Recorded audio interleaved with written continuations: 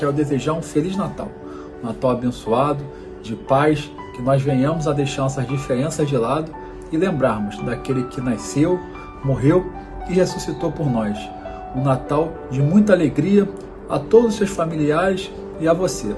E um ano novo abençoado, que 2023 seja um ano de prosperidade.